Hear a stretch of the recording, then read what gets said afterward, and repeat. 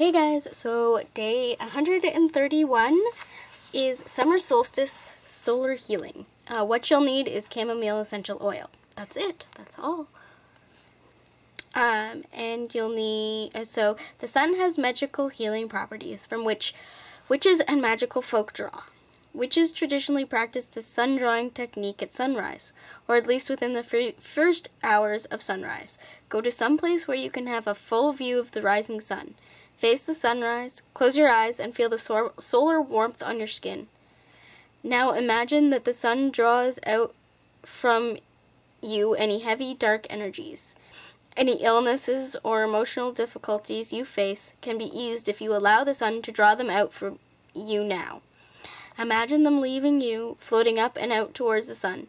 They are where they are annihilated forever. Uh, as you stand there imagining the energies leaving you, repeat the following chant to the sun thrice. Morning sun, take my pain, ease my heart, illness wane.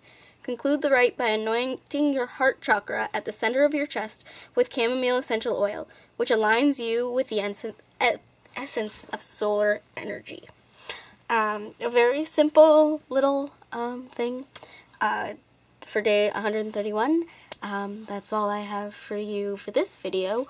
Um, I have a few more videos coming up. I'm thinking of posting very shortly. I don't want to do them all at once because I've been, you know, as I've been doing these, I've been taking breaks and making other videos for you guys for the weekly, um, once a week videos that I normally do uh, rather than just this year in a day and so I have those scheduled to go up um, so that is what's in store. So I've got a few of those.